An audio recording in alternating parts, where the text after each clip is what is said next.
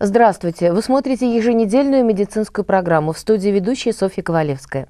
И вначале, как всегда, коротко о темах сегодняшнего выпуска.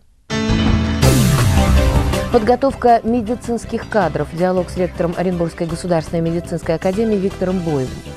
Всемирный день отказа от табака. Урок здоровья в детском санатории.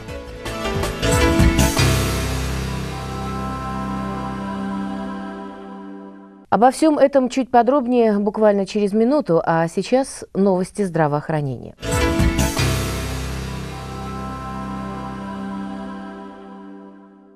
Проблемы детского здоровья обсуждались на заседании круглого стола, в работе которого приняли участие ведущие медики Оренбуржья, общественные организации и депутаты. Речь шла о поддержке детей-инвалидов, о возможностях современной медицины в оказании помощи таким пациентам. Также большое внимание было уделено развитию в области различных реабилитационных программ, таких как водолечение, ипотерапия, психологическая коррекция. Участники заседания пришли к выводу о необходимости создания комплексной реабилитационной модели, которая позволит значительно улучшить улучшить качество жизни детей с нарушениями здоровья.